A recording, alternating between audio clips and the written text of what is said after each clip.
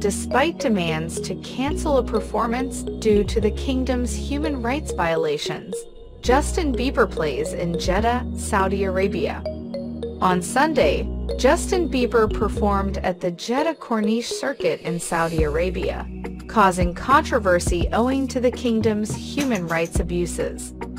According to TMZ, the 27-year-old Canadian pop sensation performed at the Formula One Grand Prix in a red jersey and athletic leggings, singing a set that included the songs Deserve You, Somebody, and Hold On. Hailey Baldwin, his 25-year-old wife, captioned a photo from the event with the comment, Go, baby, in support of her husband, who had received multiple calls to pull out of the show.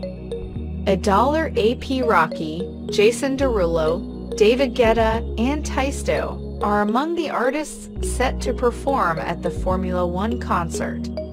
Hatice Cengiz, the fiancé of the late Saudi journalist Jamal Khashoggi, was one of the people who encouraged the Peaches singer to cancel.